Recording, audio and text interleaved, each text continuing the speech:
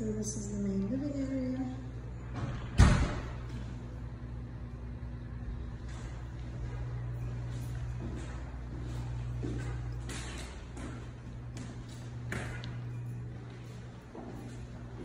This unit has two huge closets as well.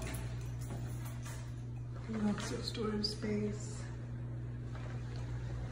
And then a second one here.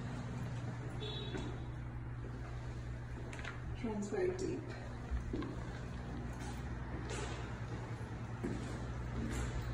And this is the kitchen.